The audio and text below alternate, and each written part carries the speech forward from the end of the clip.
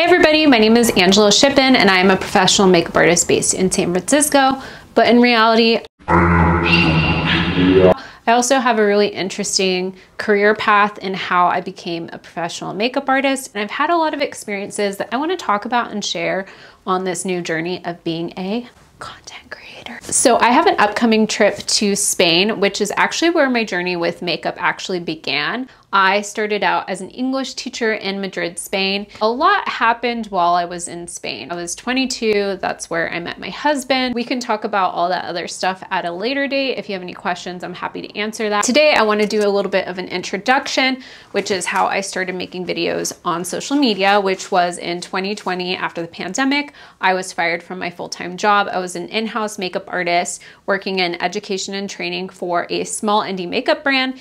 And I essentially didn't really know what to do. I didn't really want to go back to working a full-time job. So I started building my freelance career and really focusing on being my own boss and building my own clientele. My freelance career started doing really well, but something that I learned really early on into being a freelancer is that there are pauses of slowness and peaks of being really busy. During the slow periods, I didn't really know what to do with my free time, so I started posting on TikTok like a lot of people were doing. And I started posting makeup education, makeup application video, answering questions, going live, and teaching people what it's like to be a professional makeup artist, whether I was doing makeup on myself, doing makeup on models, or taking people with me through my kit or at work. And while I love makeup, it's not the only thing that I love.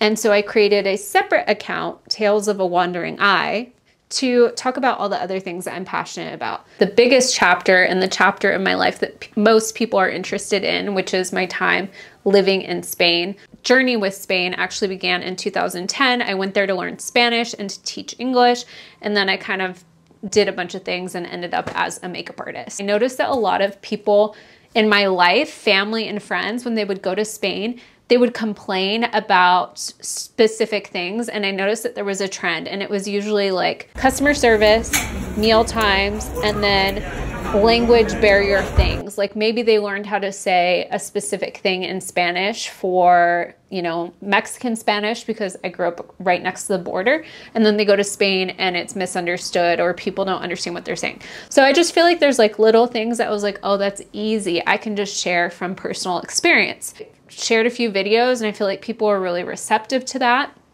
And so I thought, okay, cool. So I'm gonna have my makeup TikTok where I talk about makeup products and all the things I love about makeup. And then I'm gonna have my other channel too. Anyways, this is my introduction video. I don't know if I'll delete this. Maybe I will because I'm self-conscious.